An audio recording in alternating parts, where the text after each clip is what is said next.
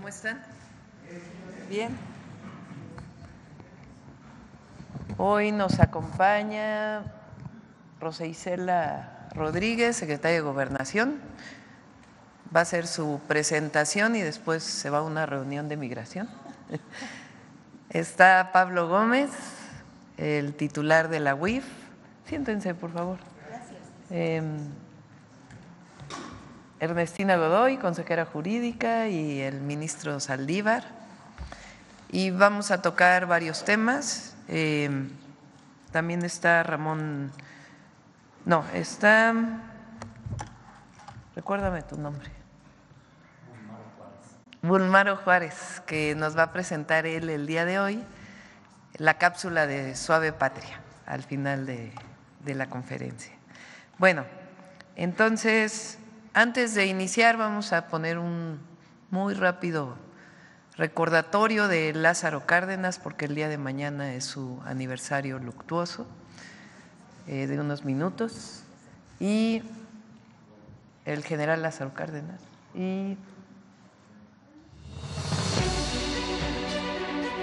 El compromiso de Lázaro Cárdenas con el pueblo de México permitió consolidar los ideales de la revolución la tercera transformación de la vida pública de México. Nació en Jiquilpan, Michoacán, el 21 de mayo de 1895, el mayor de ocho hermanos. En 1913, se unió a la revolución en contra del usurpador Victoriano Huerta y llegó a ser general. En ese trayecto, mostró las cualidades que con los años lo harían uno de los mejores presidentes de nuestra historia. Valentía, lealtad, sencillez, austeridad y solidaridad. En 1928, Lázaro Cárdenas fue elegido gobernador de Michoacán y de inmediato aplicó medidas para paliar la desigualdad y la pobreza.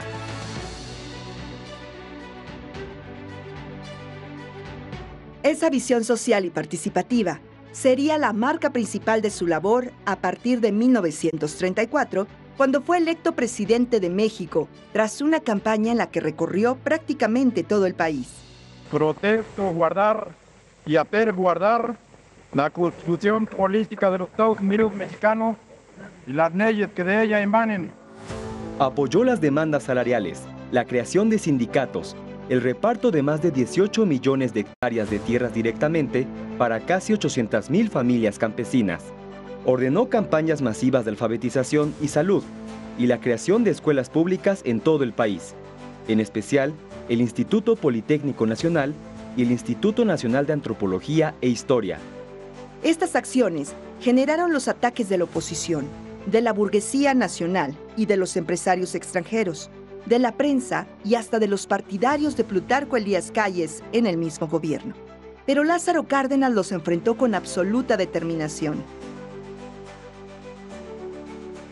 y en 1938, ante el desacato de las empresas petroleras para cumplir la ley mexicana, tomó la trascendental decisión de expropiarles y crear petróleos mexicanos, que se convirtió en el pivote del desarrollo industrial de México en el siglo XX. Se trata de un caso evidente y claro que obliga al gobierno a aplicar la ley de expropiación en vigor, no solo para someter a las empresas petroleras a la obediencia, sino porque habiendo quedado rotos los contratos de trabajo entre las compañías y sus trabajadores por haberlo así resuelto las autoridades del trabajo de no ocupar el gobierno las instalaciones de las compañías, vendría la paralización inmediata de la industria petrolera, ocasionando estos males incalculables al resto de la industria y a la economía general del país. Se fueron ya muy lejos los grandes poderosos que a nuestra linda tierra vinieron a explotar. En todas estas medidas, Cárdenas contó con el apoyo decidido del pueblo, que lo sentía como un mandatario austero, honesto y cercano a sus preocupaciones. Su visión y la manera en la que la hizo realidad representan un ejemplo para todas y todos.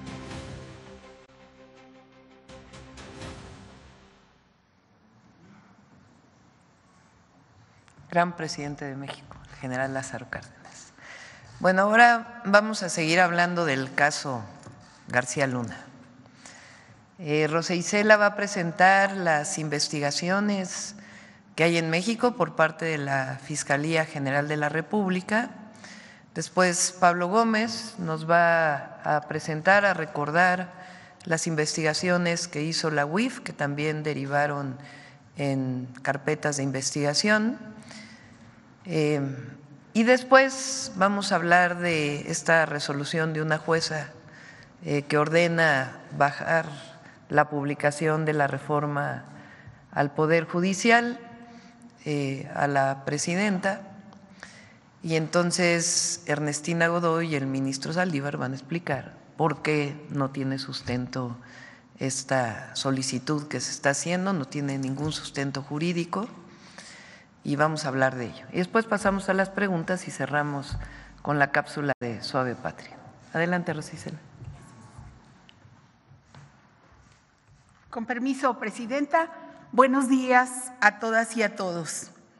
Em, el contexto de este tema es eh, que esta semana se confirmó que el ex secretario de Seguridad Pública de México y mano derecha del expresidente Felipe Calderón, Genaro García Luna, ayudó durante una década al cártel de Sinaloa a cambio de sobornos millonarios.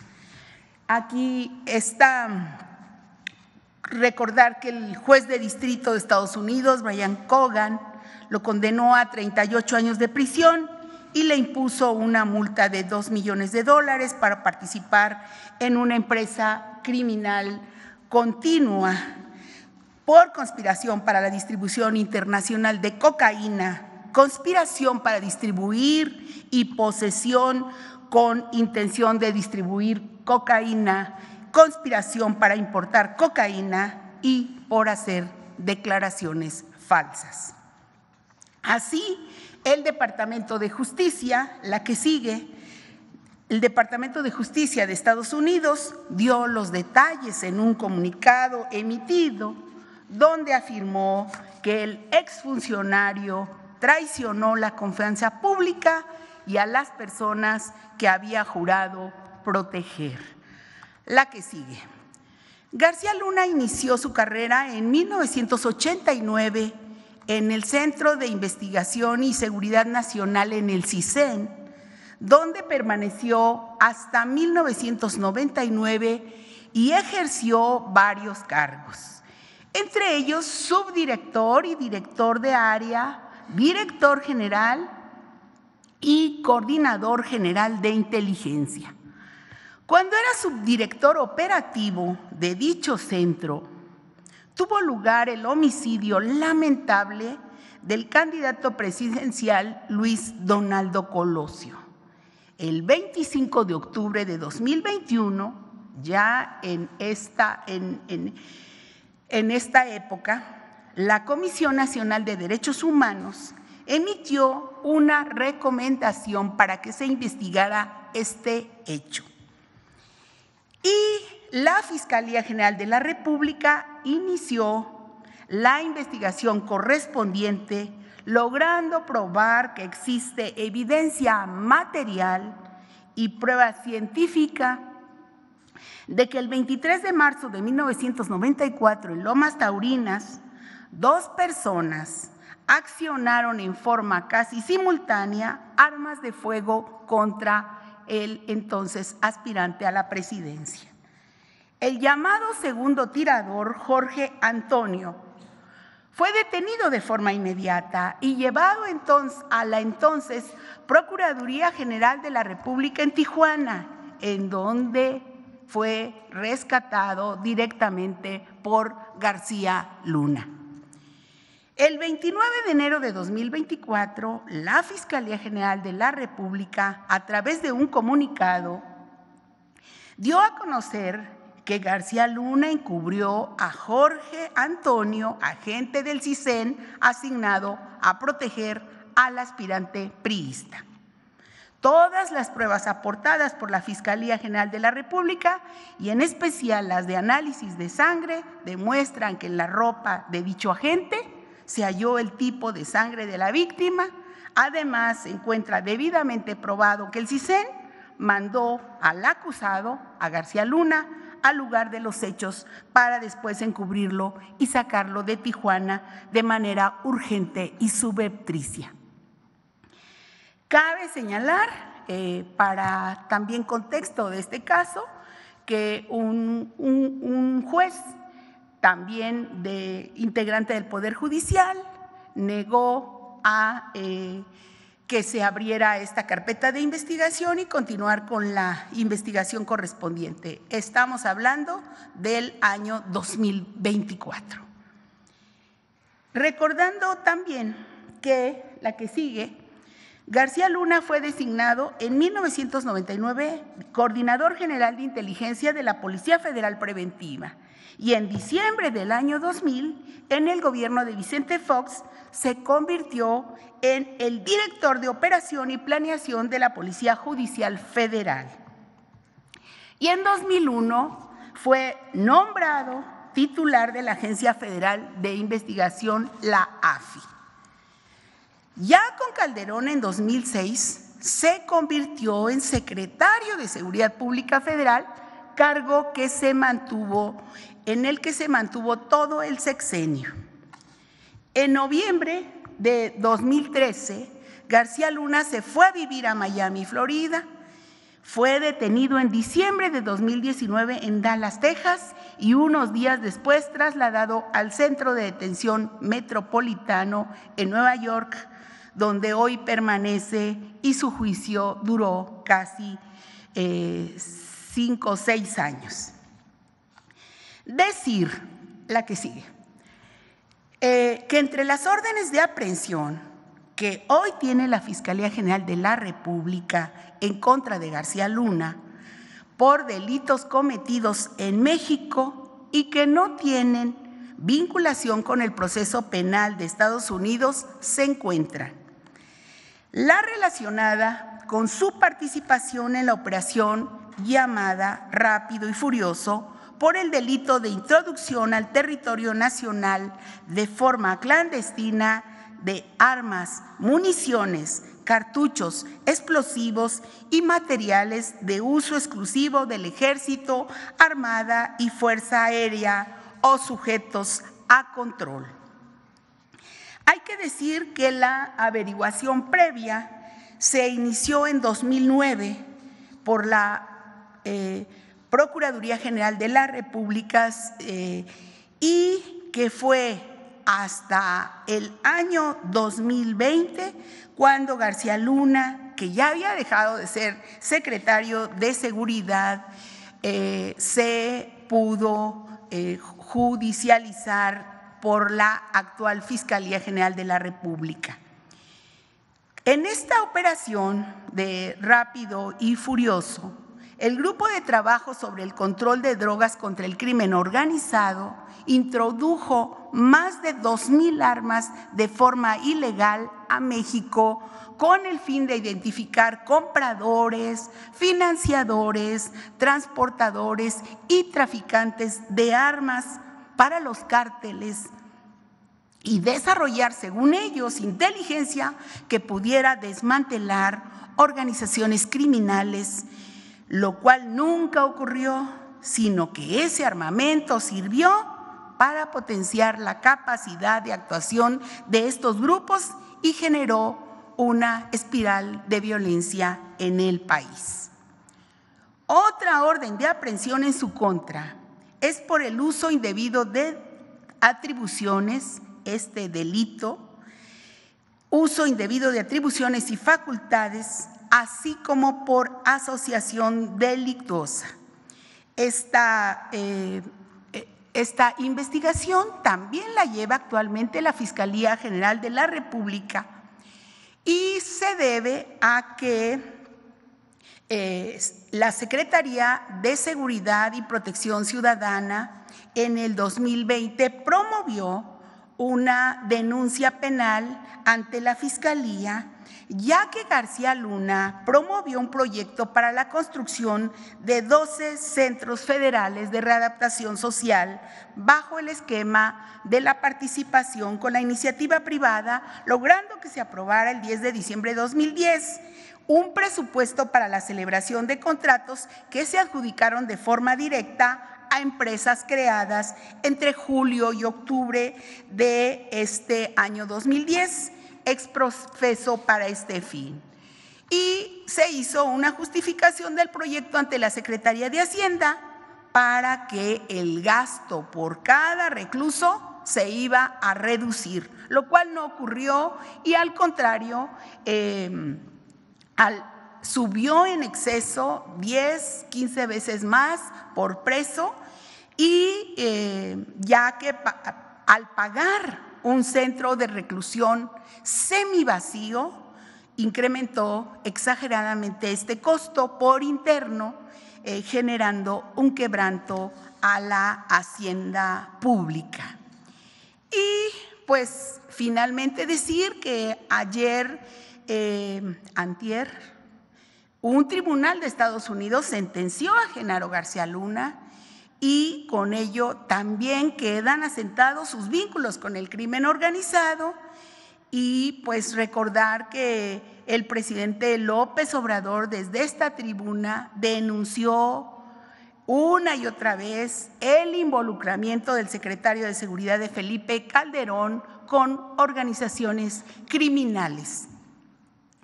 Y eh, el Poder Judicial de la Federación no quiso eh, juzgarlo y en cambio liberó a su socia y le regresó las cuentas a su esposa.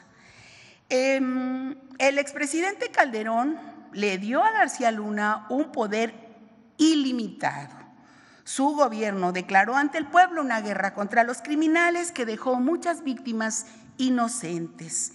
Y las investigaciones de la Fiscalía General de la República en contra de García Luna, como aquí vimos, continúan abiertas. Y también la recuperación de los recursos del pueblo de México que actualmente litiga el gobierno mexicano en Estados Unidos. Eh, decir, subrayar que actualmente el gobierno de México, las autoridades, eh, han decidido siempre estar del lado correcto, del lado de los mexicanos y estamos comprometidos con la cero corrupción, la cero impunidad y cero complicidad. Eso sería, Presidenta. Eh, compañero Pablo Gómez.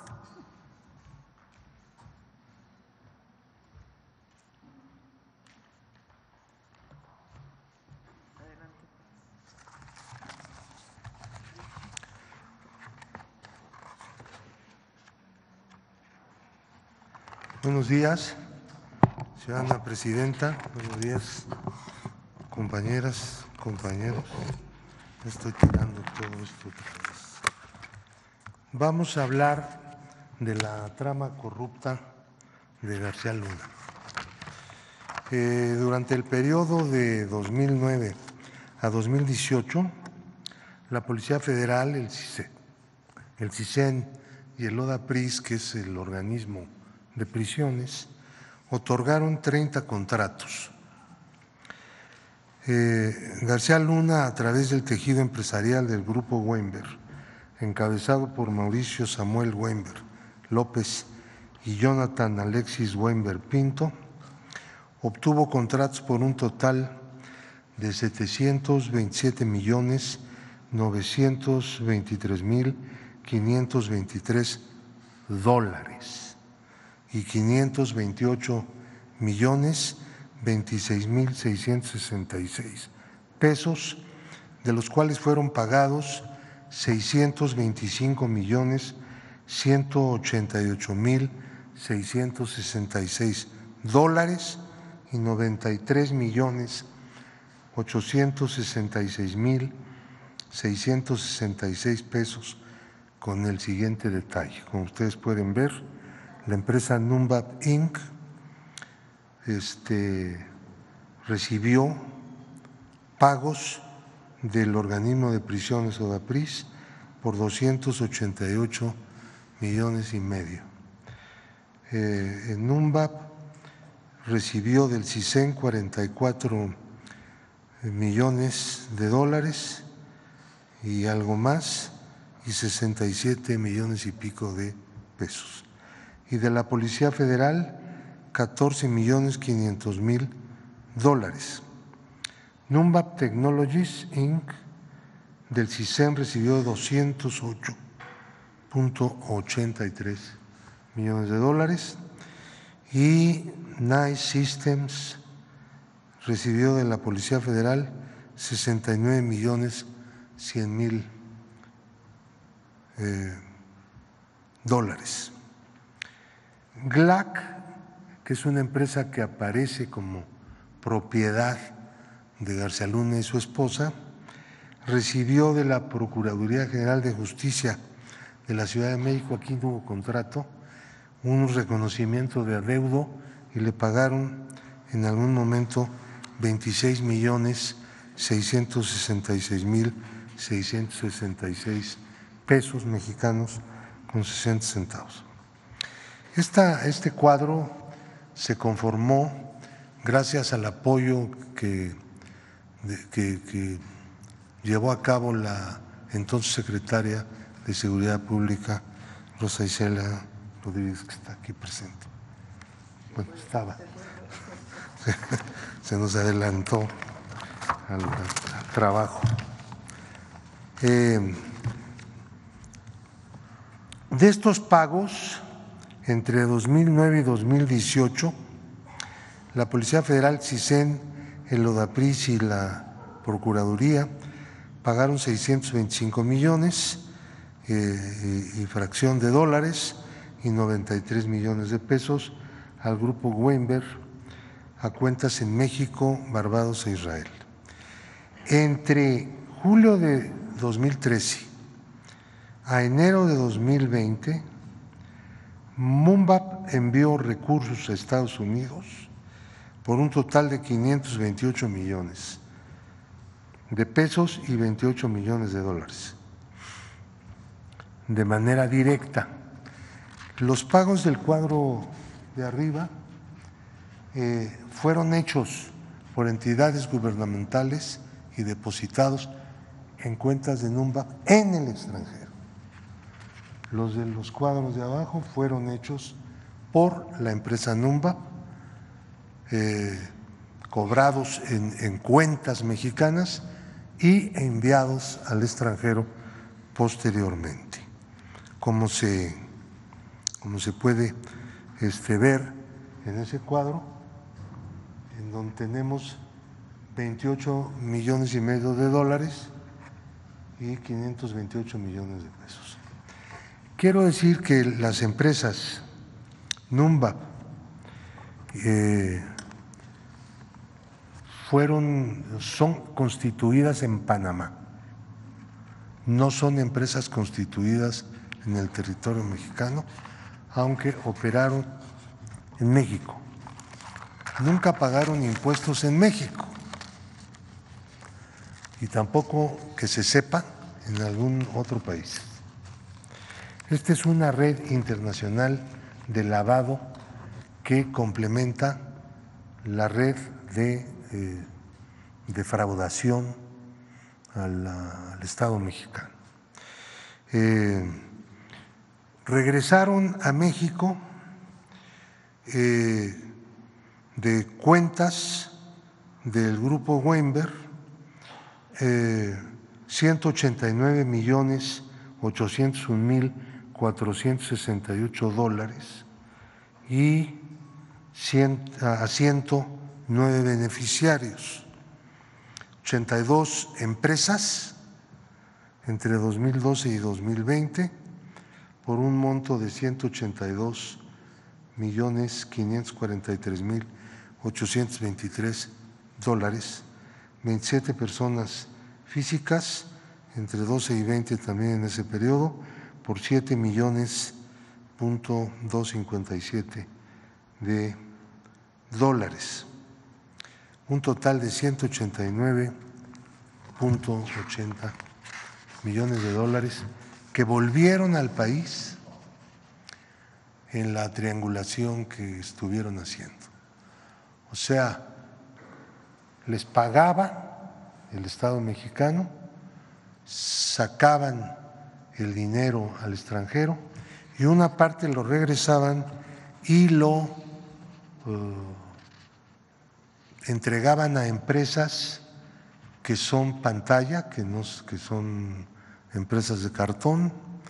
Muchos de ellos han sido considerados de esa manera como factureros este, por el sistema de administración tributaria y algunas otras empresas existen, este, aunque no tienen un funcionamiento normal.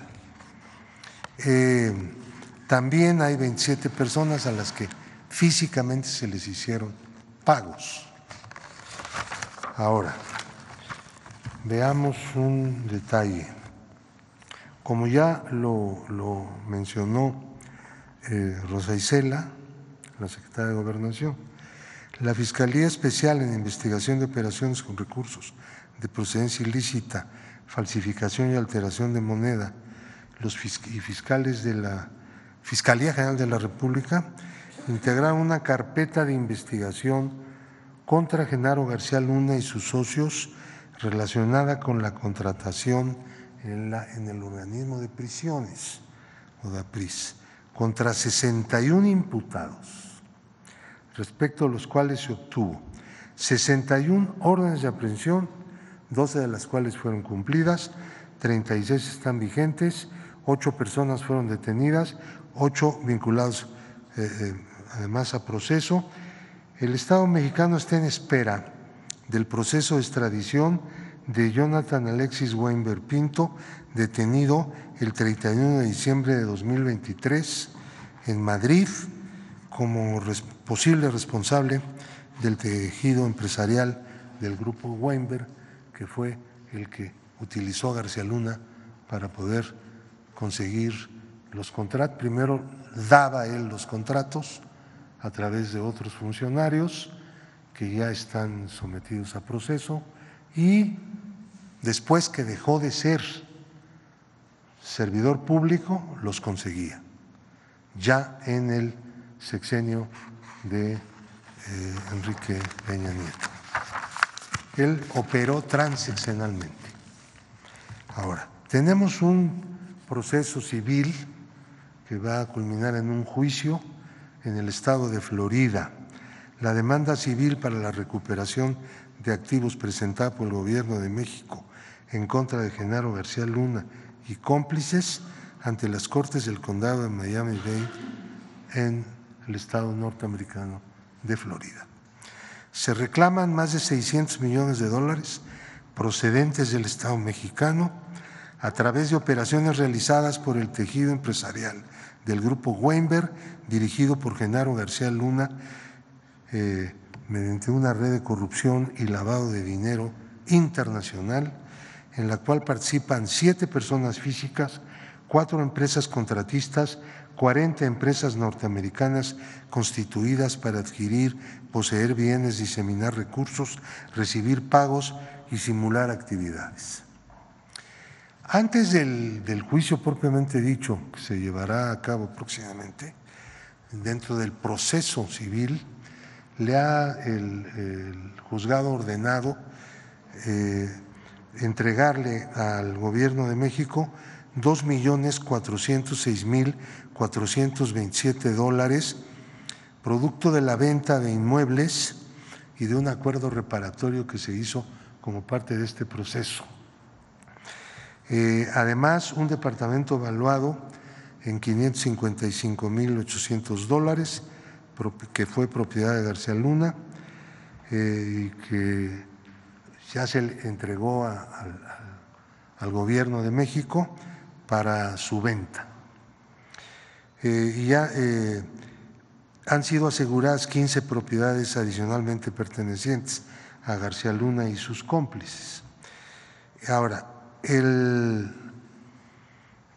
esto se adelantó, no hubo necesidad de concluir el, juicio porque García Luna se negó a comparecer en el juicio, personalmente, y su esposa también, y fueron declarados en rebeldía, y entonces los bienes que estaban a, a su nombre, los que conocemos, puesto que ha sido una investigación pues es muy complicada, este, pero tuvo algunos avances.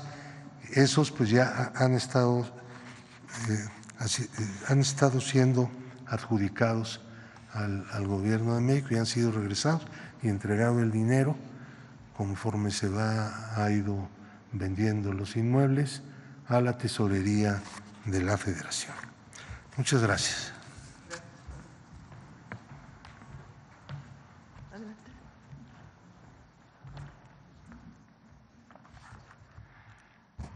Con su permiso, Presidenta. Muy buenos días. Vamos a, explicar de, de, manera muy general, tratando de no complicar, este tema de la, de la actuación que han tenido distintos jueces, sobre todo jueces de distrito, eh, emitiendo resoluciones de suspensión eh, en, todos los, en todo el proceso, en las distintas etapas que ha tenido eh, la reforma al Poder Judicial. Desde la presentación de la iniciativa lo intentaron con, con suspensiones, jueces de los estados, son jueces de distrito.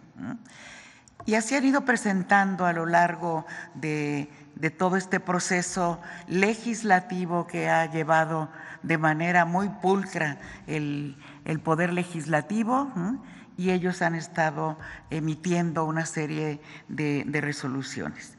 El caso que nos ocupó ayer, según los medios, es eh, que le están pidiendo a la presidenta eliminar el, la publicación en el diario oficial de el decreto por el que se reforman diversas disposiciones constitucionales en materia de, del, poder, del Poder Judicial.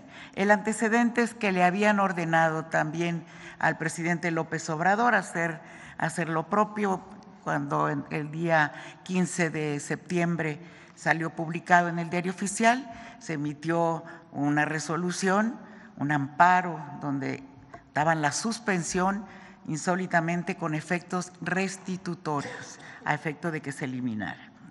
Ahora se ha resuelto, según entendemos, un incidente donde han revisado si se cumplió o no con aquella orden, llegaron a la determinación. Esta juez es una juez mujer que no se ha cumplido y por eso le requieren ahora a la, a la presidenta, la doctora Claudia Sheinbaum, que realice eso.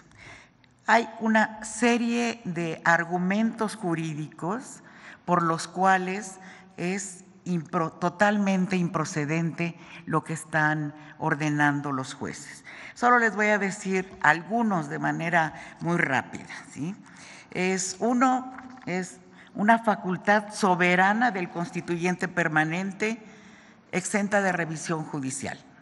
El artículo 135 de la Constitución establece que ésta puede ser adicionada o reformada por el Congreso de la Unión por la aprobación de dos terceras partes de sus integrantes, así como la mayoría de los congresos local, locales. Esto es una facultad soberana y originaria conferida al constituyente permanente. No en todos los estados está esa posibilidad, en, en, en México existe. Es el órgano depositario de la soberanía popular a través de los representantes, con lo cual el Poder Judicial no tiene ninguna injerencia. No existe en nuestro sistema jurídico una disposición constitucional o legal que otorgue al Poder Judicial de la Federación o a cualquier otro ente facultad para cuestionar, revisar o anular la labor del órgano revisor de la Constitución. Por el contrario, la normatividad prevé expresamente la improcedencia de juicio constitucional, de los amparos y demás, en contra de las adiciones o reformas a la Constitución. Un juzgador, por lo tanto, no, puede, no se puede autofacultar para someter a revisión jurisdiccional una reforma constitucional, porque más allá de sus atribuciones expresas, implicaría ponerse por encima del órgano revisor, erigiéndose en la máxima autoridad del Estado mexicano y desconociendo el postulado del constituyente originario, según el cual la soberanía nacional reside esencial y originalmente en el pueblo y no en un juzgador de distrito. La actuación de estos, de estos jueces usurpa atribuciones que le fueron conferidas al poder reformador, que es la máxima expresión. Aunado al anterior, pretenden suspender un procedimiento que vulneraría el pacto federal. Es el pueblo quien ejerce la soberanía por medio de los poderes de la Unión. En ningún caso las determinaciones de uno o de otro poder pueden contravenir las estipulaciones que les da al pueblo de México.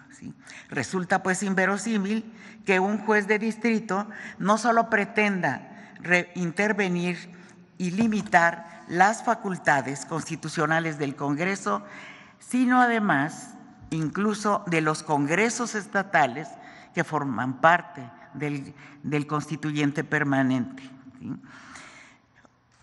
Miren, ellos mismos, ellos saben, son constitucionalistas, son peritos en derecho y saben que la propia Suprema Corte de Justicia en múltiples criterios, sentencias, hay jurisprudencia, ha negado la posibilidad de que se revise una reforma constitucional. Hay, está, está clarísimo, lo dicen, no es susceptible de control jurisdiccional una reforma constitucional, ya que se encuentra en sí misma el, tema constitucional. Em, la, la labor del órgano reformador de la Constitución constituye una función soberana, no sujeta a ningún tipo de control externo. Todo está, este, todo lo tenemos desarrollado y esto, quiero decirles también, hay un claro conflicto de interés, por si, por si fuera, no fuera suficiente ya que están eh, desobedeciendo a la propia Constitución. No lo explico, es clarísimo, es obvio el conflicto de interés que tiene. Es, un caso sin precedentes. Se hará, eh, hasta donde la presidenta ha informado, una denuncia ante el Consejo de la Judicatura para que revise, tienen que revisar este Consejo de la Judicatura la actuación de los jueces de distrito que están contraviniendo la Constitución, sus propias, sus propios criterios, sus propias, sus propias jurisprudencia y que determine el, el Poder Judicial si está, están actuando o no bien estos jueces de distrito que pretenden erigirse por encima de la soberanía del pueblo de México y del poder reformador que está en el, en el Congreso. Con eso me quedo, es más, mucho más complicado, pero de manera general. Gracias. Así, presidente. Rapidísimo. Sí. Con su permiso, Presidenta, muy buenos días. En complemento a lo que ya ha dicho la consejera jurídica, simplemente señalo lo siguiente. La Constitución y las leyes también obligan al Poder Judicial Federal. Es un poder constituido que no está exento de actuar en el ámbito de sus competencias.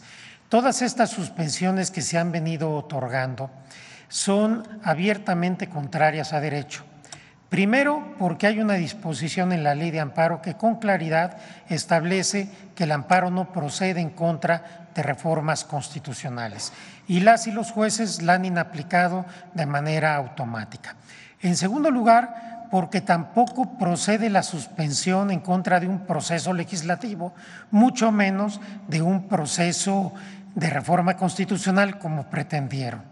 En tercer lugar, porque una suspensión no puede tener, en casos como este, un efecto restitutivo que es invalidar o quitar una publicación en el diario oficial.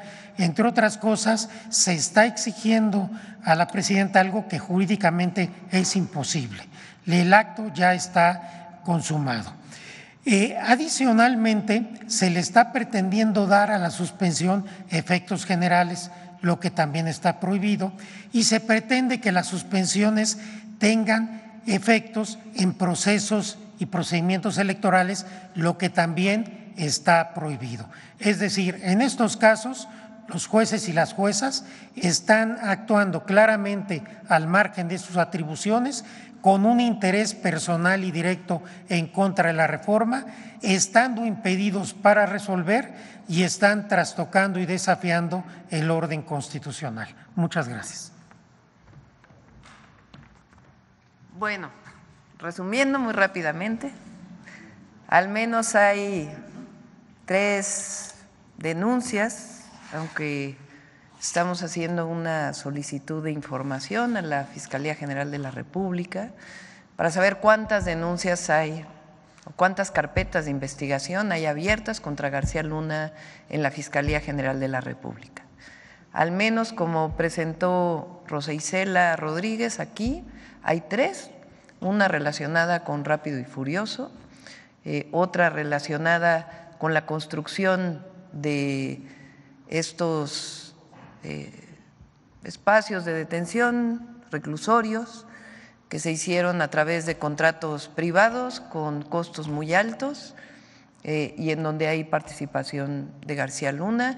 Y por otro lado, esta investigación que presenta la UIF, en donde García Luna está involucrado pues en lavado de dinero, vamos a decirlo así. Además está la carpeta de investigación abierta sobre el caso eh, de Luis Donaldo Colosio, el asesinato de Colosio, en donde la Fiscalía encuentra que Genaro García Luna está involucrado. Sin embargo, un juez no eh, dio la orden de aprehensión. Entonces, son al menos estos casos y estamos haciendo una consulta para ver si hay otros casos en donde hay investigaciones o incluso ya órdenes de aprehensión contra Genaro García Luna en nuestro país. Lo segundo, una juez, le preguntaba ahora a Paulina si me daban el nombre de la juez. Eh, el día de ayer no nos ha notificado, es a través de los medios de comunicación, Nancy Juárez de Veracruz, de Coatzacoalcos, Veracruz, ordena bajar la publicación del diario oficial de la Federación de la reforma al Poder Judicial. Y ahí dice que si no se hace eso, se dará vista al Ministerio Público y que el delito para la presidenta, porque es una, eh, un amparo dentro de un juicio de amparo, son nueve a no sé cuántos años de cárcel. Entonces, ¿cuánto? Tres a nueve años de prisión. Entonces, eh, en el primer caso es muy importante lo de García Luna, porque hay eh,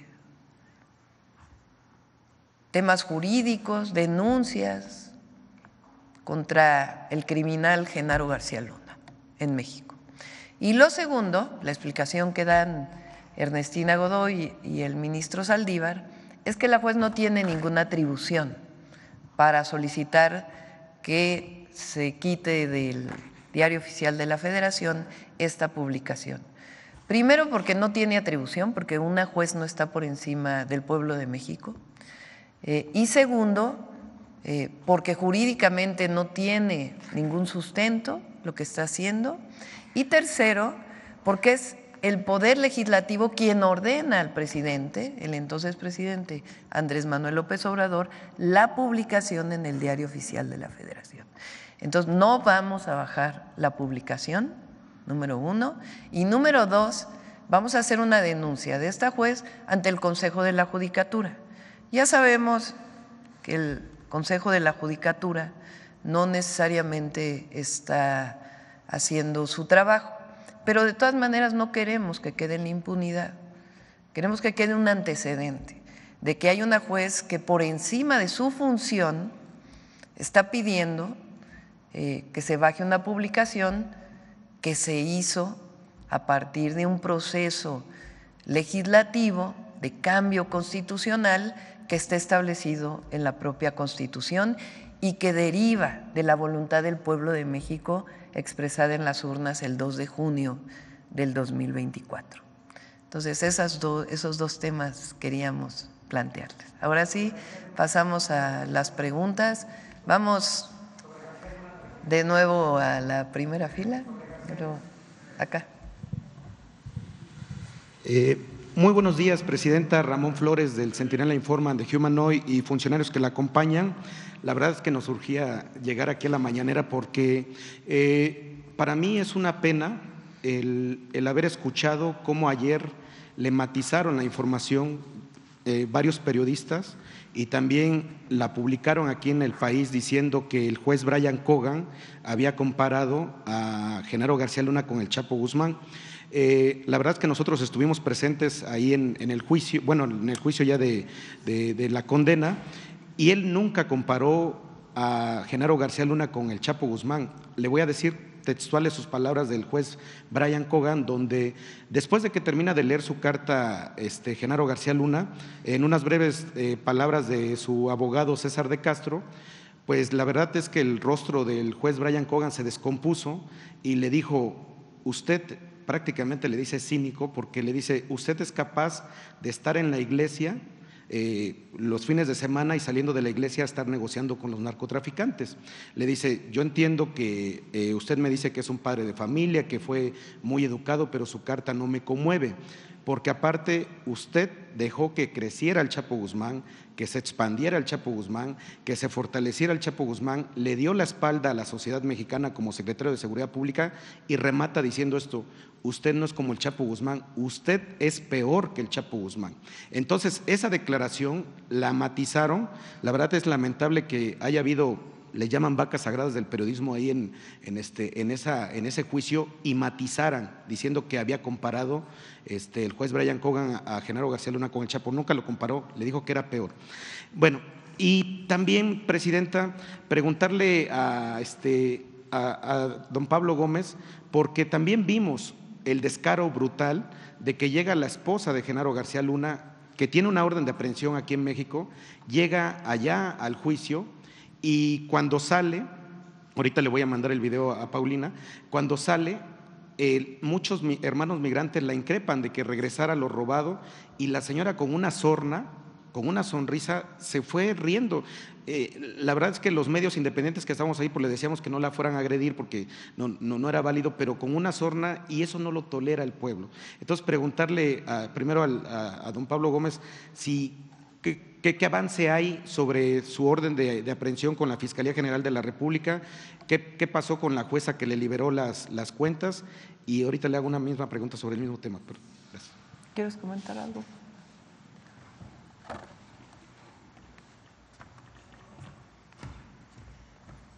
Gracias, con permiso.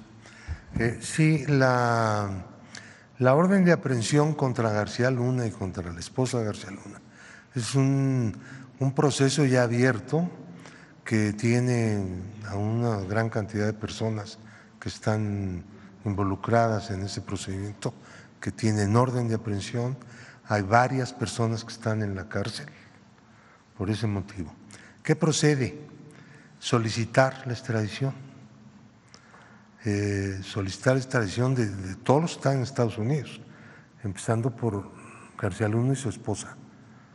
Eh, el hecho de que García Luna esté en la cárcel no quiere decir que no haya que solicitar extradición, porque una persona puede abandonar la cárcel en cualquier, por cualquier motivo, y en ese momento se aplica la extradición y el gobierno de Estados Unidos estaría en condiciones y con la obligación de enviar a México a esta persona cuando eventualmente abandone la cárcel. En cuanto a su esposa, pues inmediatamente deberían extraditarla. En cuanto a la jueza que, quitó de la lista de personas bloqueadas a la esposa de García Luna, pues ustedes saben que no proceden, se los voy a decir con sinceridad, las quejas contra los jueces prácticamente son excepcionalmente proceden. Y siempre hemos presentado quejas siempre hemos presentado recursos de revisión y siempre hay una negativa porque pues, están en connivencia permanentemente. No por nada se hizo la reforma judicial más grande de la historia de México.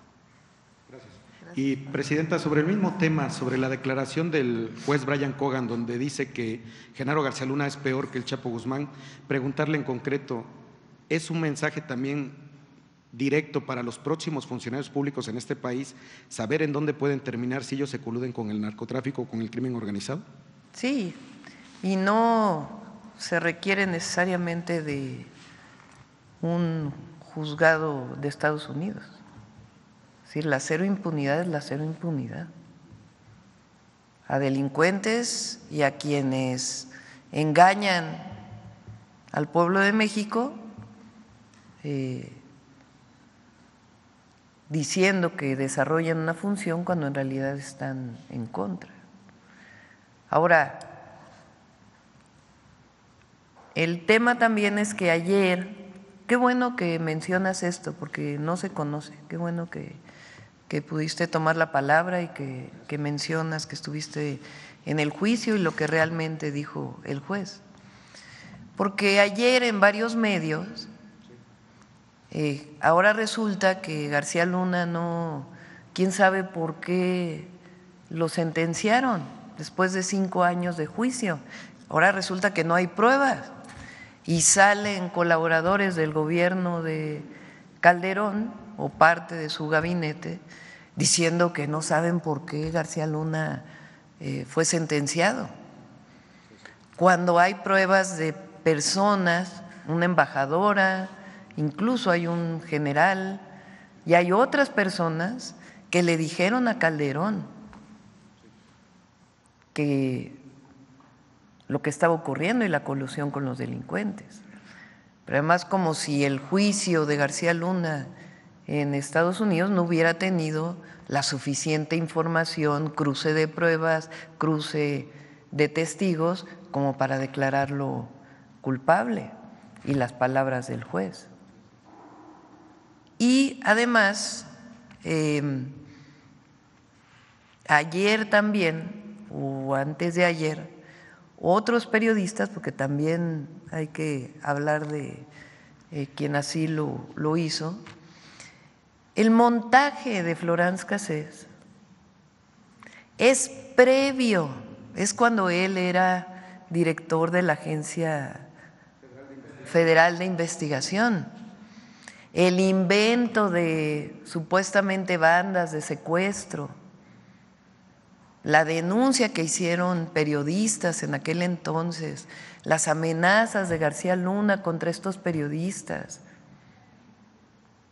por ese montaje, en donde también participó un conocido conductor, así es, son previas a que Calderón lo nombre como secretario de Seguridad. Entonces ahora resulta que es una víctima. Calderón sabía.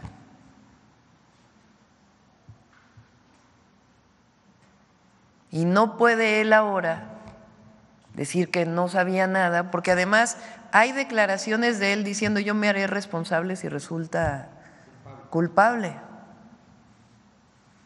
Y entonces cargan ayer un montón de exfuncionarios diciendo que García Luna es inocente.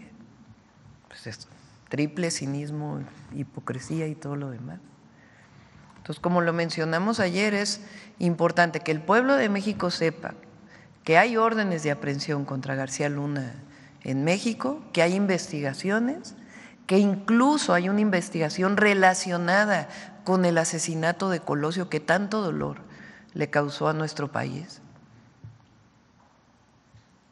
Y también pues vamos a ver el tema de la extradición de la esposa. Muchas gracias, Presidenta. En mi segundo tema también eh, nos entrevistamos con muchísimos hermanos migrantes allá en Nueva York. Eh, hay un conflicto que tienen ahí también con el, este, el consulado y con, bueno, se acercaron muchos migrantes a quererle hacer una propuesta a usted, Presidenta, a través de un servidor, de que ellos quieren destrabar el conflicto, de que a veces quieren tramitar su... Eh, su pasaporte, su INE, su acta de nacimiento, su matrícula consular y no les dan la información adecuada. Y luego dicen que los funcionarios del gobierno de la 4T son los que no los atienden. Entonces hubo un grupo que platicó conmigo y me dijo que le hiciera, eh, eh, bueno, que le hiciera llegar esta propuesta de que por qué no eh, el gobierno hace un convenio con la UNAM, un ejemplo, de que, por ejemplo, los, licenciados en ciencias de la comunicación, en vez de ir a hacer servicio a algún otro lado, lo hicieran en los consulados para que le pudieran brindar, no quiero este, ocupar la palabra ignorancia porque todos somos ignorantes en ciertos temas, pero este, porque muchos hermanos migrantes ignoran cómo hacer sus trámites para el acta de nacimiento, para la credencial de elector, para, para el, este, el, pasaporte. Y luego afuera de los consulados hay veces que hay abusones que les dicen, ¿quieres que te tramite tu acta de nacimiento? Pues te cobro tantos dólares. ¿Quieres que te tramite este, tu credencial de elector? Tantos dólares. Entonces ellos decían que si su gobierno podría proponer que cada sábado en cada consulado pudieran darles alguna orientación de cómo hacer sus trámites a los hermanos migrantes para que no tuvieran tantos conflictos con los funcionarios eh, allá en Estados Unidos? Se va a modificar la manera en que operan los consulados. Esa es la principal función del canciller. Está trabajando en ello, em, en varios sentidos. Eh, uno, hay muchos trámites, como por ejemplo un acta de nacimiento son trámites que tienen que ver con los estados, no con la federación, porque los registros civiles eh, tienen que ver eh, eh, jurídicamente con los estados. Entonces, lo que estamos trabajando también pues, es la coordinación de las 32 entidades de la República con el sistema consular para poder facilitar la expedición de actas de nacimiento, actas de defunción o cualquier trámite que tenga que ver con el registro civil. Y además otros, por ejemplo, la emisión de la credencial de elector, pues tiene que ver con el Instituto Nacional Electoral y el consulado facilita el espacio para que se dé, pues esto tiene que eh, simplificarse. Entonces, no es responsabilidad de nuestros hermanos migrantes, no es responsabilidad de nuestros paisanos y paisanas que viven del otro lado, el que los eh, el que la atención no sea correcta, es responsabilidad de los consulados. Entonces, por eso tiene que modificarse la forma de atención de los consulados, en donde su principal función sea la atención a las y los mexicanos que viven en particular en los Estados Unidos, pero no solamente. Eh, entonces está trabajando en ello el secretario Juan Ramón de la Fuente ya va a venir aquí para poderlo presentar, pero tenemos también que avanzar en la facilitación de trámites para que pueda ser mucho más fácil el acceso a todo lo que requiere un mexicano o mexicana que vive en el exterior.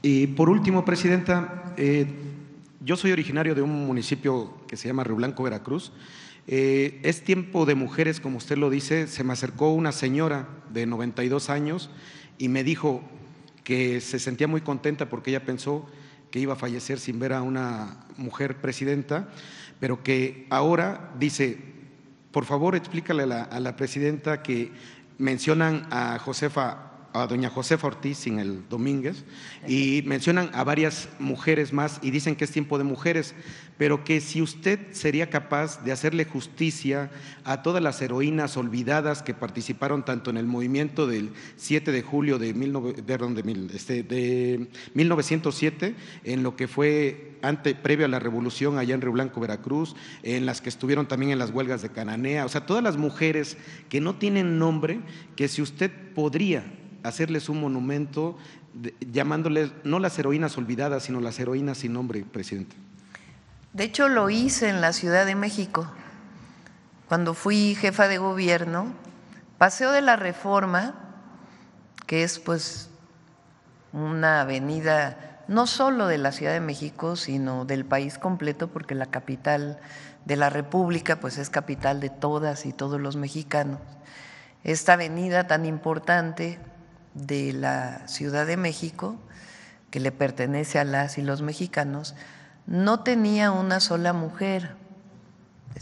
Tiene muchísimos monumentos dedicados a hombres que en la historia cumplieron eh, alguna función y tienen su reconocimiento.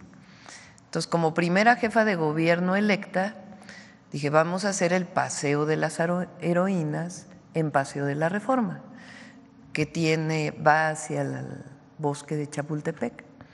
Ahí hay 13 monumentos. Uno de los monumentos es a las heroínas anónimas, eh, que no conocemos sus nombres, que hay que seguir investigándolas porque hay que conocer sus nombres, eh, pero que han jugado un papel trascendental en la historia de México, en las cuatro transformaciones y además eh, apoyando a sus familias. Porque esta idea de que quien, a veces yo decía en los mítines, ¿quién le dio de comer a los revolucionarios? Pues una tarea tan importante como otras.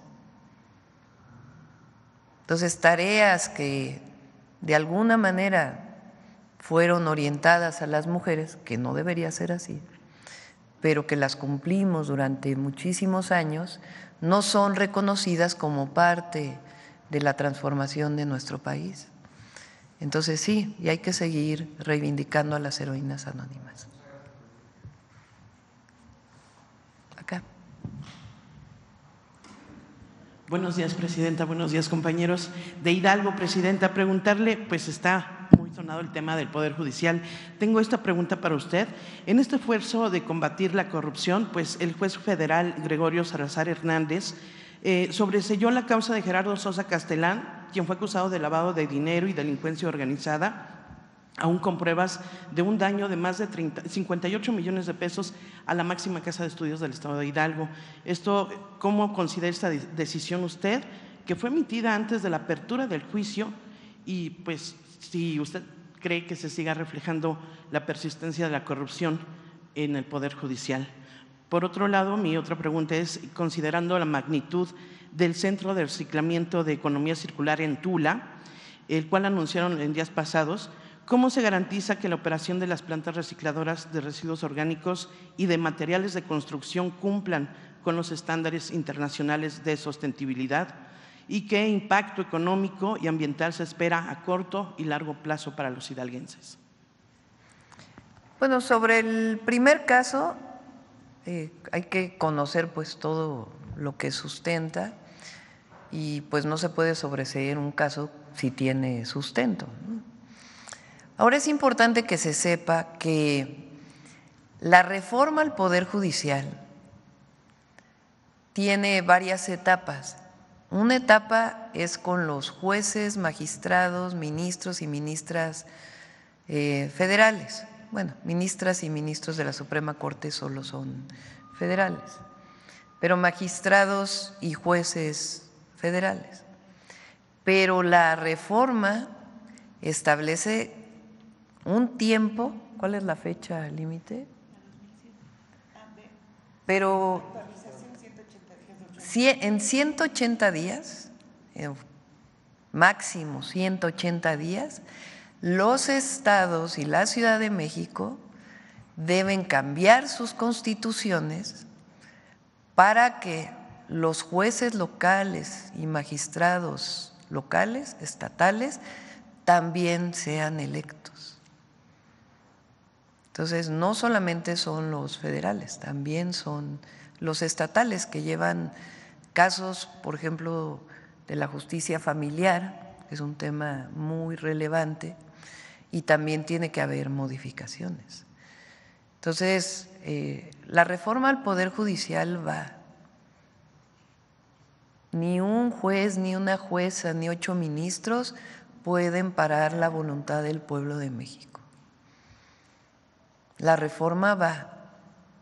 Ya estamos preparando otro paquete de leyes secundarias muy importantes que se derivan de la reforma constitucional, desde la ley orgánica de la Suprema Corte de Justicia, para determinar además particularmente el Tribunal eh, de Disciplina,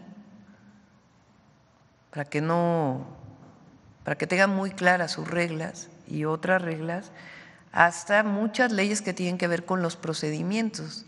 Recuerden que la reforma al Poder Judicial también establece tiempos, por ejemplo, para resolver un juicio mercantil o un juicio que tiene que ver con pago de impuestos. Ya no va a ser como ahora, que pueden pasar años y años y años y años, amparos, amparos, amparos y amparos, para que no se paguen los impuestos, sino que en seis meses se va a tener que resolver por parte del Poder Judicial. Para ello tienen que cambiarse varias leyes secundarias. Entonces está trabajando para estas leyes secundarias, algunas eh, incluso se están eh, trabajando desde aquí, también con, desde el propio Poder Legislativo, eh, para que muy pronto quede ya todo el paquete de la reforma al Poder Judicial y además eh, cuando se elijan los jueces, magistrados, magistradas, ministros, ministras, ya esté todo el sistema judicial nuevo para que entremos pues a una nueva era de la justicia en México. Y de la nueva, eh, del nuevo centro de reclutamiento de economía circular, eh, presidenta. Ah, sí, perdóname. Por favor. Em, ahí donde se iba a construir la refinería de Calderón, que nunca se construyó, que quedó en media barda, eh, se va se está construyendo en una parte un hospital del IMSS que ya va a terminar muy pronto, lo vamos a ir a inaugurar. En la otra parte son alrededor de 700 hectáreas. Tula es una ciudad que durante muchos años ha recibido mucha contaminación por el río Tula, eh, por los propios municipios eh, conurbados a Tula eh, por la refinería, por la planta de generación eléctrica.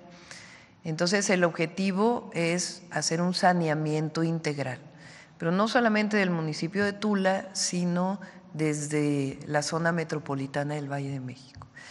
Entonces está trabajando en el saneamiento del río Tula y otros ríos que desembocan en el río Tula.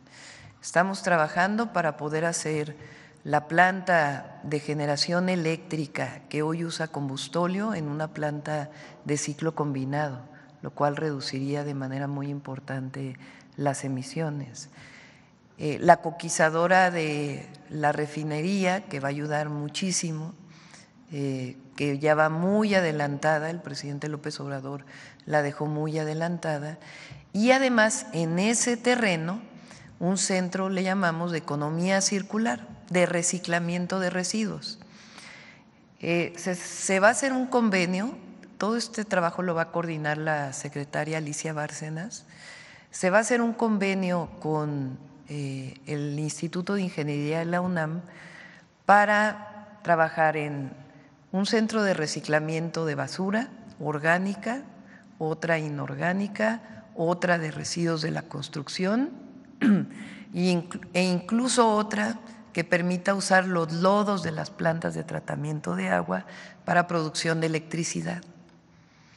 Entonces, justicia a toda esta zona de Hidalgo y estamos trabajando muy bien con el gobernador y con la gobernadora Delfina y también con Clara, porque finalmente es un proyecto metropolitano. ¿En cuánto tiempo se podrá ver reflejado esta parte de...? Vamos, se están haciendo los estudios. Eh, yo creo que los estudios para poder tener un proyecto ejecutivo eh, definitivo estarán en el primer trimestre o finales del primer trimestre del 2025 y a partir de ahí ya se presentaría a la población de la zona metropolitana el proyecto integral y cuánto tiempo llevaría su construcción. Gracias.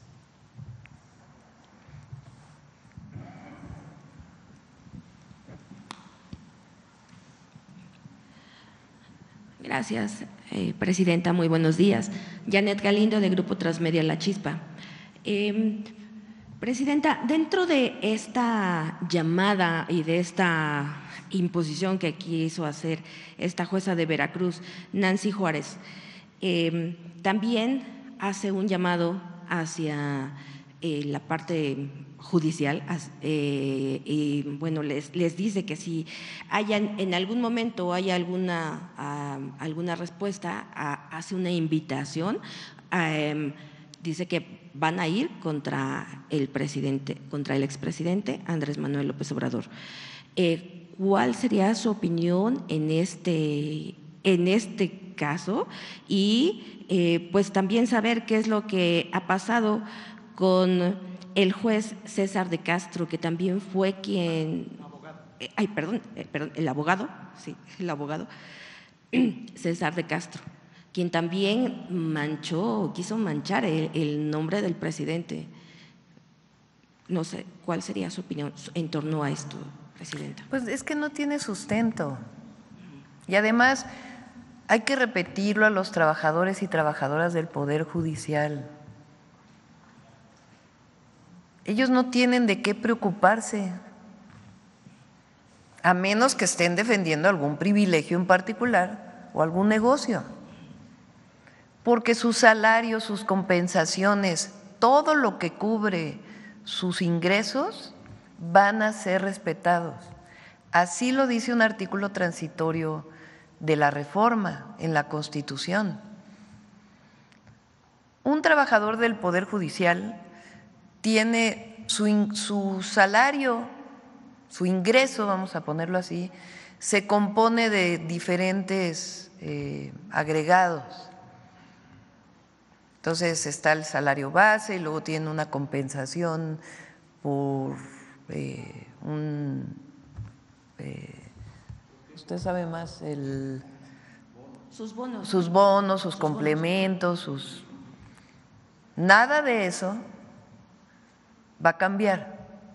Se les mantiene en completo su ingreso.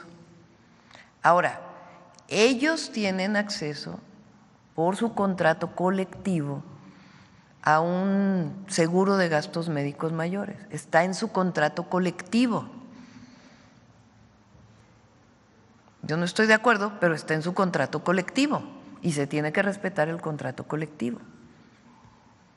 Entonces, no, ¿qué están, ¿por qué están protestando? Tienen derecho a protestar por la porque no están de acuerdo con la reforma que se hizo. México es un país libre, democrático y tienen razón. Pero si están protestando porque se van a afectar sus derechos laborales o sus ingresos, no tienen razón de ser, porque no se van a afectar. Entonces esto es importante que lo conozcan todos los trabajadores del Poder Judicial. Ahora, si siguen en paro a pesar de que el Consejo de la Judicatura ya dijo que tienen que regresar a trabajar, pues entonces que el Consejo de la Judicatura pues les aplique los descuentos que se tienen que aplicar porque alguien no vaya a trabajar. Ahora, que una jueza por su propio criterio, que no tiene nada que ver con las leyes, con el Estado de Derecho que tanto se habla, sino por una ocurrencia quiere hacer algo contra un servidor público o ex servidor público, contra el presidente Andrés Manuel López Obrador, el expresidente Andrés Manuel López Obrador, pues ¿con qué sustento? No, pues es que no tiene sustento jurídico. No, es que no tiene sustento jurídico, hasta un golpe de Estado. Eh, tiene que construirse, aunque no sea eh, dentro de la ley, con una legitimidad, con un... ¿Cuál golpe de Estado? La verdad. O sea, una jueza que por su invento le pide a la presidenta que quite del diario oficial de la federación lo que al presidente le ordenó el poder legislativo después de un proceso electoral en donde el pueblo de México determinó la composición del poder legislativo y la constitución y la ley de procedimientos electorales. Ese poder legislativo con todos los mecanismos de ley cambia el Poder Judicial a partir de una iniciativa que envía el entonces presidente Andrés Manuel López Obrador. Todo sustentado en la Constitución. Bueno, que una jueza tenga una ocurrencia y en un plazo de 24 horas, o sea. Por eso es una ocurrencia de una jueza que no tiene ningún sustento jurídico. Por eso le pedí a Ernestina, al ministro Saldívar, que explicaran por qué no tiene ningún sustento jurídico. Entonces, no vamos a bajar la publicación porque no tiene sustento jurídico. Y aunque el Consejo de la Judicatura este, no sancione a los jueces, vamos a presentar esta queja, porque está fuera de sus funciones. Un juez, una jueza también tiene que cumplir con la ley, con la constitución, es más, esa es su función primordial. Entonces, por un amparo que hace una jueza, ahora resulta que hay un problema de una este, un golpe de Estado. yo no lo veo así. Sencillamente nosotros no podemos ir contra el pueblo de México y eso está en el artículo 39 de la Constitución. Eh, Presidenta, y en otro tema, no sé si eh, eh, usted sepa, bueno, se logró el registro de la licenciada Cristina Alonso para líder, para liderar el Sindicato de Trabajadores Petroleros de la República Mexicana. Pero resulta que es eh, la única mujer eh, y la única contrincante, por decirlo así, de Ricardo Aldana. Entonces, eh, pues ella hace un llamado también a, a, todos los trabajadores a mantener la unidad y pues también pide que, eh, como es tiempo de mujeres, que eh, la apoyen los trabajadores y, es, y también hacia el secretario del Trabajo, eh, lo único que les pide pues es que vigilen solamente el proceso. Este proceso, estas elecciones ya se darán para el día 28 del presente. No sé, ¿cuál sería su opinión sobre este eh, que ya una mujer ha logrado llegar a esta etapa, Presidenta. Pues ahora sí que libertad a las y los trabajadores para que elijan a quien ellos y ellas decidan. Ese es, nosotros no tenemos por qué meternos a una elección sindical, eso se hacía antes, eh, pero no, esta es una decisión de las y los trabajadores petroleros. Muchísimas gracias. O acá que te había dicho antes, ¿eh? Ya vamos a ir cerrando. Buenos días, Presidenta. Fernando Mejía, de Grupo 7 Noticias. Eh, el día de ayer, Oralia Pérez, abogada penalista, fallecida en Cuauhtémoc, en viaducto, en una camioneta sin placas, eh, con vidrios polarizados. Eh, la pregunta sería, ¿qué acciones tomará el gobierno para garantizar la justicia en el caso del asesinato de la abogada?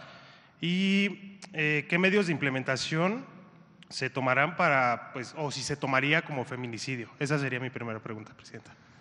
¿Aquí en la ciudad? Sí. Sí, bueno, lo lleva la Fiscalía General de Justicia de la Ciudad de México. Entiendo que ayer, ayer hubo tres homicidios en la ciudad em, y creo que ayer dieron una conferencia de prensa ya muy noche el secretario de Seguridad de la ciudad y el fiscal de la ciudad, y es un caso que, lo tienen que llevar ellos y cualquier apoyo que requieran de las instituciones federales en el marco de la ley, pues lo van a tener.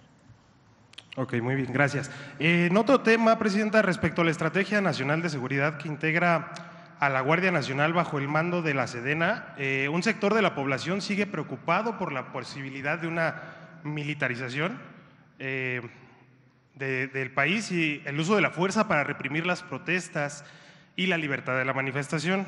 eh, sabemos que esto pues evidentemente no sucederá, pero que es, de qué manera le garantiza ¿no? que, esto no puede suceder a las personas que pues aún así lo siguen creyendo. Eso por, por una parte. Y el segundo lugar, de qué manera esta reforma ayuda a que las denuncias anónimas relacionadas con la distribución minorista de droga en colonias conflictivas de la Ciudad de México o en el país en general, ¿cómo, cómo ayuda? ¿Qué serían? De, ¿La última cómo? cómo? Ah, sí, eh, la última de eh, la reforma, cómo ayuda a que las denuncias anónimas en sectores pequeños, en colonias conflictivas, ayuda a que la distribución minorista eh, pues sea atacada. Sí, eh, a ver, empiezo por la, por la última. Eh, un ciudadano, una ciudadana, ¿a quién le presenta una denuncia? Al Ministerio Público, a las fiscalías. La fiscalía tiene la obligación de integrar, abre una carpeta de investigación cuando se presenta la denuncia y la fiscalía tiene la obligación de integrar las pruebas, sea que sean proporcionadas por la víctima o eh, bajo la propia investigación. Hay delitos más graves, delitos menos graves. ¿Qué hace con esa carpeta de investigación una vez que tiene las pruebas? Presentar ante un juez la solicitud de una orden de cateo para seguir con la investigación o una orden de aprehensión. ¿Qué es lo que ha pasado hasta ahora? Además de que las fiscalías tienen sus propios problemas, se solicita una orden de aprehensión y no se otorga, no procede. O procede y de inmediato viene un amparo que de manera poco clara se otorga para poder liberar al delincuente, sea del fuero común o delincuencia organizada o delincuencia de cuello blanco u otro tipo, cualquier tipo de delito. ¿Por qué la reforma al Poder Judicial ayuda a todas y a todos los ciudadanos? Porque ya no va a estar el juez nombrado por alguien, ya no le va a deber su puesto a una persona. ¿A quién va a responder ese juez? Al pueblo, porque el pueblo lo eligió. Y su elección va a ser abierta, conocida, transparente. Pero además, en vez de que exista el Consejo de la Judicatura, va a haber un tribunal de disciplina que con una serie de normas y una serie de reglas va a sancionar al juez que cometa un acto de corrupción, alguna irregularidad, con sus criterios, sin subjetividades. Ese tribunal también va a ser electo. Entonces, ¿qué estamos construyendo? Un sistema de justicia y un poder judicial distinto al que tenemos ahora, que aquí se ha presentado en muchas ocasiones las irregularidades más del 60% de la población en todas las encuestas a la fecha está de acuerdo en la elección. Sí, incluso más de los que votaron por nosotros están de acuerdo en la elección. Entonces, eso es por un lado. Ahora, tu primera pregunta, el tema de la militarización. ¿Qué garantiza? Primero, que la comandanta suprema de las Fuerzas Armadas es una civil y que nunca va a ordenar la represión. El primer día que tuvimos la mañanera del pueblo, que estuvo aquí Pablo, que fue dirigente estudiantil del 68, eh, presentamos un, un decreto, una publicación que salió en el diario oficial de la Federación, en donde decíamos, el máximo responsable de esa matanza del 2 de octubre fue el entonces comandante supremo de las Fuerzas Armadas. ¿Por qué? Porque él mismo reconoció y además se jactó de lo que ocurrió de ordenar esa represión como único responsable, más allá de las investigaciones judiciales. Entonces, eso por un lado. Por otro lado, que estamos viviendo un proceso de transformación que busca la libertad, la democracia, que no queremos regresar al pasado represivo. Y tercero, el marco jurídico en el que actúa la Guardia Nacional o la propia Secretaría de la Defensa Nacional, la Secretaría de Marina o cualquier fuerza del Estado mexicano, que tiene que cumplir con el respeto a los derechos humanos. Entonces no hay militarización. Eh, muchas gracias. Ya nada más para finalizar, eh, bueno, eh, estos temas los abordo porque realmente creo que hay un gran sector de la población que aún está incisivo en esa parte y se cree que pues la militarización aún existe, ¿no? O va a existir. ya nada más para terminar, ¿qué piensa con respecto a la división que existe dentro del PAN por la división con respecto a Genaro García Luna, con lo que se hablaba hace un momento? con respecto a que pues unos están a favor y otros totalmente se deslindan de, del tema de Genaro García Luna y de que pues eh, el silencio de, del expresidente. ¿no? Bueno, no, no, no, no estuvo en silencio, ha estado muy, muy este, comunicativo. Bueno, el silencio actual, ¿no? Bueno, no, ha estado muy comunicativo, la verdad. Ayer tuvo una entrevista con Ciro, ah, después de su largo tuit, tuvo una entrevista con Ciro Gómez Leiva.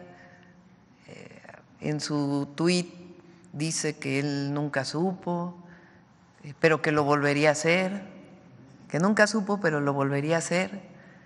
Em, y después en esta entrevista, pues sale esta cuestión de que Genaro García Luna es una víctima y que no hay pruebas, cuando ya fue sentenciado. Entonces, por eso es importante lo que planteamos aquí. No solo es lo que el juicio en Estados Unidos, sino que aquí tiene cuentas pendientes con la ley García Luna, que tienen todo el sustento. Y una que no se quiso dar una orden por un juez de aprehensión, que está vinculada, fíjense nada más, está vinculado con el asesinato de Luis Donaldo Colosio.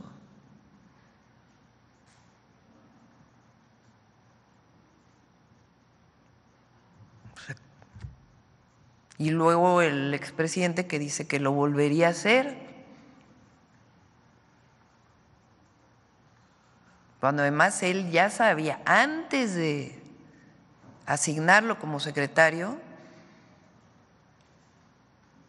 del caso de el montaje de Florence Cassés y Vallarta, Vallarta se pide ver, em, del caso de bandas delincuenciales vinculadas con secuestro que se había él inventado, amenazas que habían vivido periodistas, de ver por qué eso no se dice.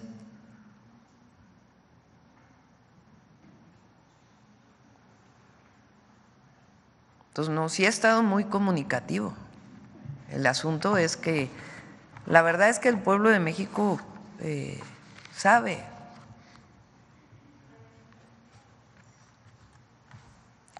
Acá. Ya nos vamos a ir cinco minutos más y cerramos con la cápsula. Hola, Presidenta, buenos días. Manuel Galeazzi Ramírez de Sin Línea y el político en las redes preguntarle eh, su opinión y su postura respecto a la suspensión en el INE de la elección de jueces, bueno, el proceso para elegir a jueces, magistrados y ministros. Mm. La, presidenta del INE dijo que va a acatar las resoluciones para pues no desobedecer esto y que si bien sigue en curso todos los demás procedimientos, pues van a esperar a ver qué resuelve. Primero, ese sería mi primer. Sí, no está suspendido. Eh, lo que llamó la presidenta del INE, y creo que es pertinente es a que el Tribunal Electoral del Poder Judicial de la Federación pudiera manifestarse en torno a estos amparos que se están recibiendo. Porque también es importante que, que se sepa, en el caso de elecciones, quien tiene la atribución final para determinar si procede o no una elección, decir si se realizó bien o mal, es, no es la Suprema Corte de Justicia de la Nación, es el Tribunal Electoral del Poder Judicial de la Federación.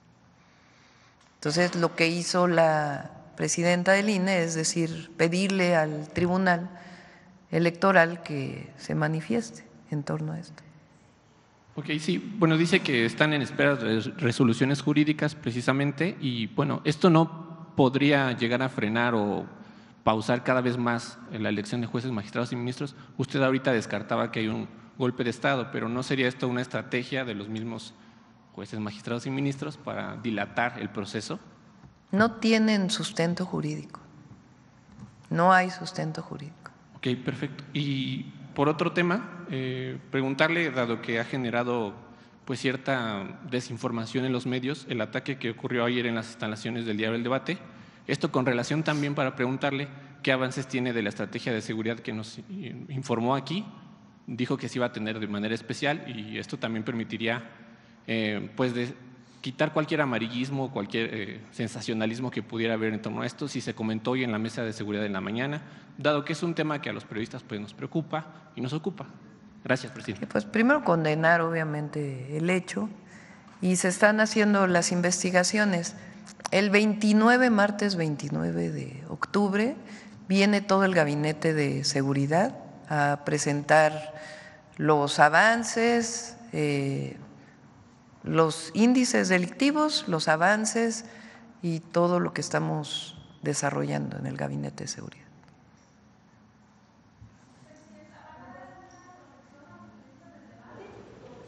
Si lo solicitan, por supuesto que sí. Vamos a estar en contacto con ellos. Gracias, Presidenta. Este, Esteban Durán, Vanguardia Veracruz. Presidenta, eh, volviendo al tema de la reforma judicial, ¿qué garantiza que estos cambios que están por llegar efectivamente se acabe la corrupción dentro pues, de este sistema. Porque es bien sabido que la corrupción empieza con los policías, cuando detienen a alguien ilegalmente, cuando revisan su vehículo, le revisan su mochila, le siembran droga, le siembran armas, y ahí empieza ese penal para muchas personas, sobre todo para las madres, para las hermanas, para las hijas, que por estos motivos pues se, están sus, eh, eh, sus familiares en las cárceles están ilegalmente con carpetas eh, eh, fabricadas de delitos. Entonces, allí, repito, allí empieza la corrupción y acaba con los jueces, donde algunos de ellos se prestan, ya sea por situaciones económicas, a esta situación. El, el expresidente Andrés Manuel López Obrador señalaba que la justicia está al mejor postor, quien tiene más dinero obviamente puede sacar a su familiar sin ningún problema de estas cárceles. ¿Qué garantiza esto, eh, presidente? Que efectivamente se acabe con esto, porque la violencia, como usted lo manifestó, pues es contra las mujeres, contra las madres, contra las hermanas, contra las tías, etcétera, que ven con, mucha pena se acaban sus días ahí, se acaba su, su, poca economía que tienen, para poder recabar pues el dinero que les están exigiendo los abogados o pseudoabogados que se aprovechan de las circunstancias para pedirles dinero por cualquier cosa, por copias, por aquello, por lo otro. Igualmente, pues los jueces se ven involucrados en esas circunstancias. ¿Qué garantiza esto que efectivamente se acabe la corrupción en todos los niveles? Desde mi punto de vista, el Siempre es mejor que decida el pueblo, en el caso del Poder Judicial, a lo que hemos vivido durante todo este periodo. Si un juez, una jueza, es electa, electo por el pueblo de México, es muy distinto a que alguien lo nombre, aunque digan que hay carrera judicial.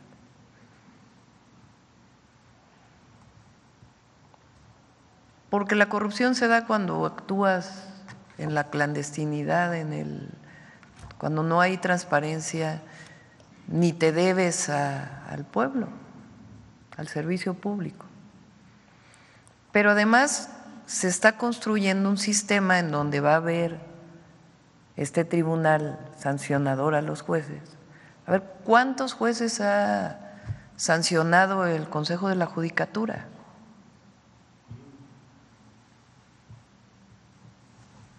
Entonces va a haber un tribunal que va a estar revisando con criterios, no, no se trata eh, de que no tenga, por eso es la ley orgánica que se va a presentar, que tenga reglas, pero que sean sancionados frente a denuncia ciudadana o frente a la propia actuación de un caso.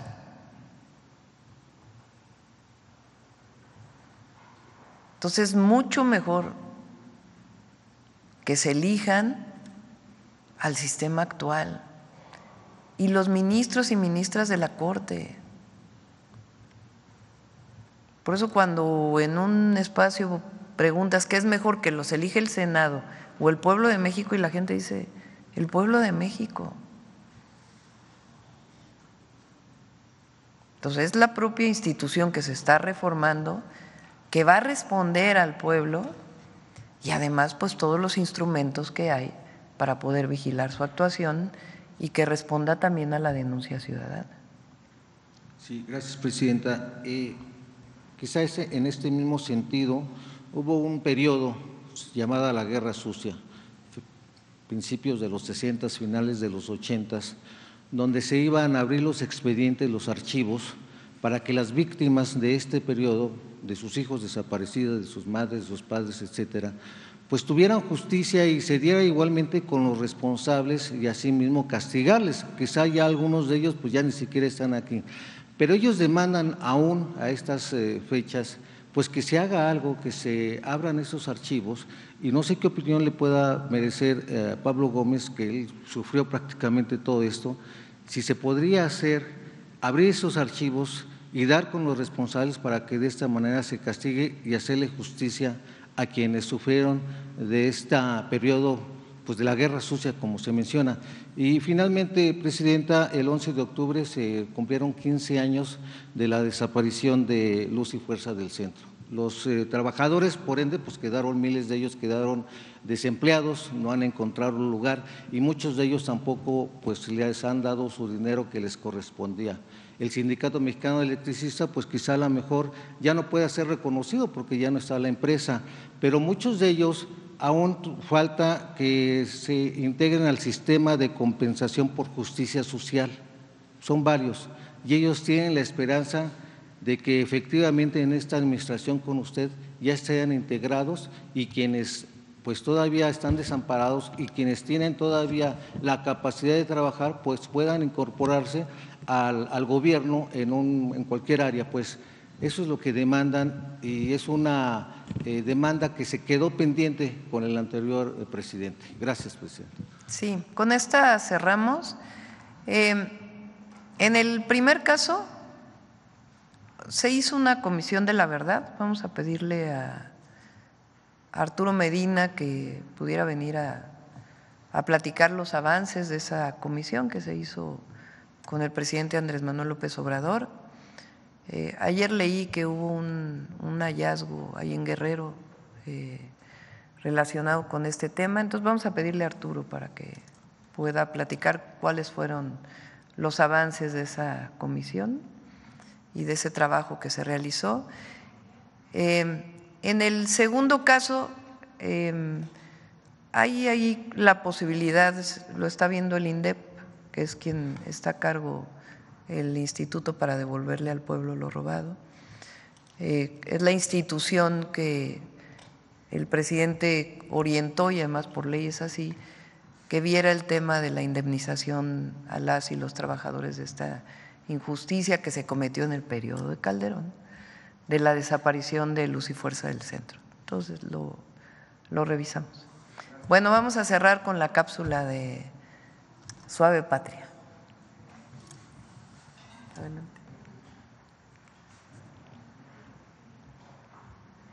Con su permiso, Presidenta.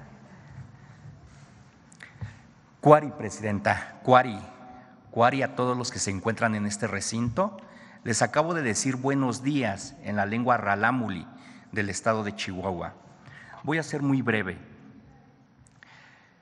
Cada semana nosotros vamos a presentar en esta sección eh, unas cápsulas que se llaman Suave Patria, eh, donde vamos a abordar eh, mucho, mucha de las vidas, mucha de la experiencia, de los triunfos que han tenido mujeres, hombres y la sociedad en general. En esta ocasión, el equipo de Suave Patria tenemos el honor de presentar a Lorena Ramírez, una corredora rarámuri del municipio de Huichocha del estado de Chihuahua.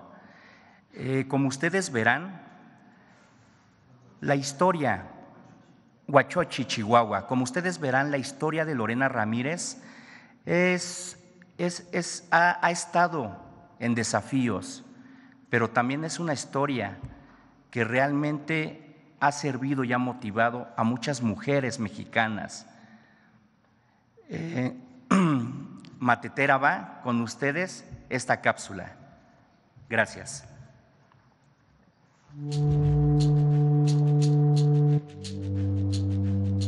Yo me llamo Lorena Ramírez, eh, soy ultramaratonista, yo vengo de la Sierra de Chihuahua.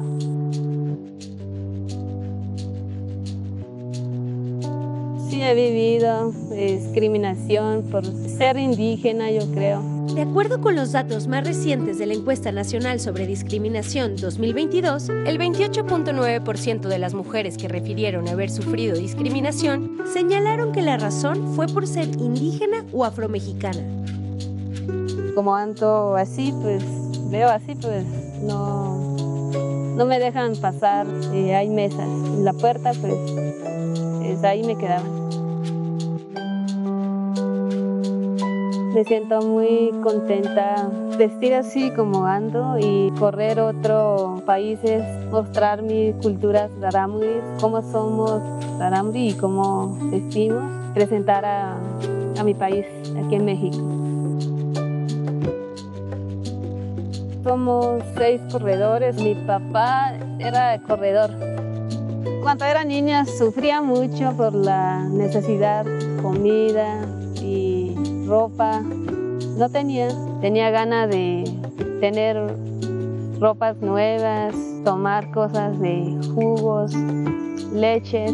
Por eso hicimos fundación, porque yo sí viví en, en medio de la montaña, pues yo conozco cómo vive la gente, mis hermanos indígenas, y yo soy una mujer rarámuri mexicana,